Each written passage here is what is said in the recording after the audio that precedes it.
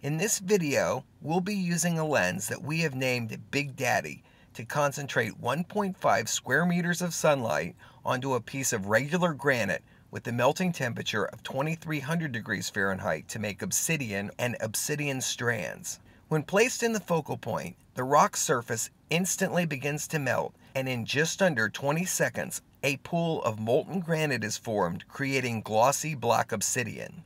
This lens has a current maximum build temperature record of 3800 degrees Fahrenheit, so it is more than powerful enough for this task. By carefully dipping another piece of light colored granite into the molten pool, long thin strands of hair-like obsidian are formed. As the base strands move further away from the focal point, they rapidly cool forming a solid structure.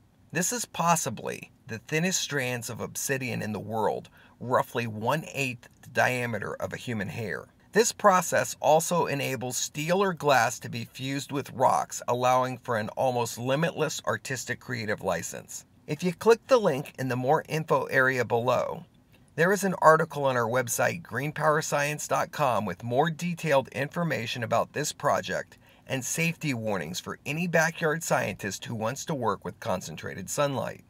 I'm your host, Dan Rojas. Thank you for watching and enjoy our videos.